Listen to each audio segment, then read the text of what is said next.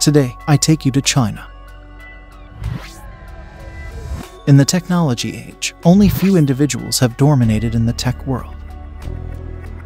According to the World Bank forecast, GDP estimates high growth in China, with the world's second largest economy of just 2.8% for 2022, while the rest of the 23 country region was expected to grow 5.3% on average, more than double 2021's 2.6% rise. China's own Pony Ma, with a net worth of $31.80 billion, is the co-founder and chief executive of Tencent Holdings, a publicly traded Chinese multinational investment holding conglomerate with subsidiaries in the internet, entertainment, AI, and technology.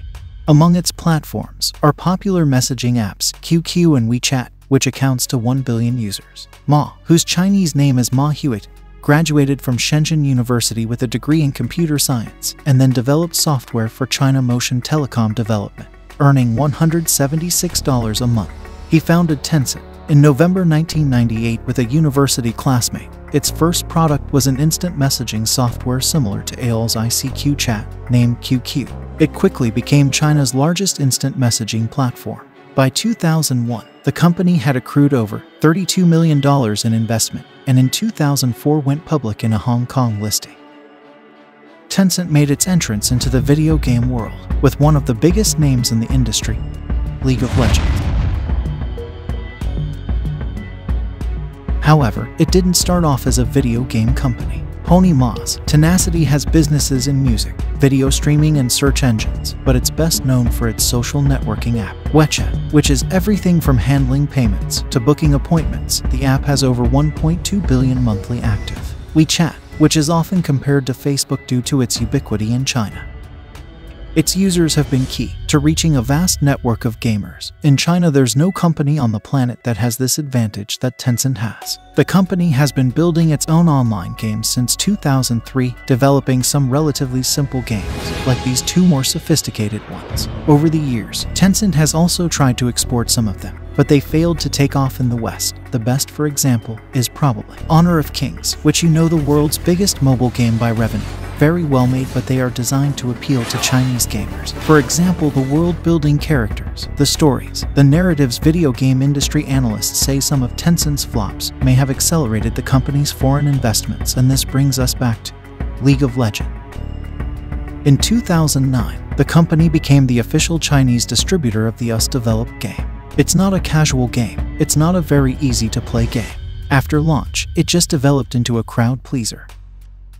In 2017 alone, Ma invested $1.4 billion in Indian e-commerce platform Flipkart $863 million in Chinese online discount e-tailer Vipshop with JD.com and $200 million in Zhuanshu, a second-hand clothes retailer. Tencent also owns stakes in Meili. However, let me take you back to WeChat.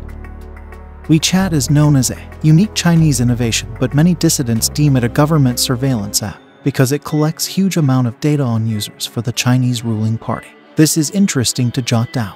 Also, with Tencent cementing their dominance in the game market, their dominance at home raised concerns among regulators on the gaming habits of young people.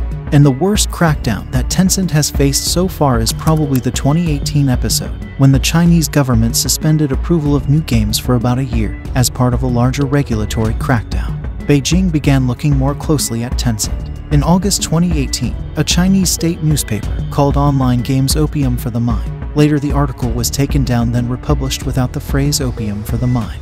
After the article's publication, Tencent saw a big sell off and his share price dropped about 10% in just one day. In August 2018, Ma was China's second richest man, with a net worth of more than $36 billion. The Shenzhen-based Tencent reported revenue of 560 billion yuan in 2021. Its mobile messaging application WeChat has about 1.3 billion users. The majority of Ma's wealth is derived from a 7.4% stake in Tencent Holdings, a publicly traded instant messaging company.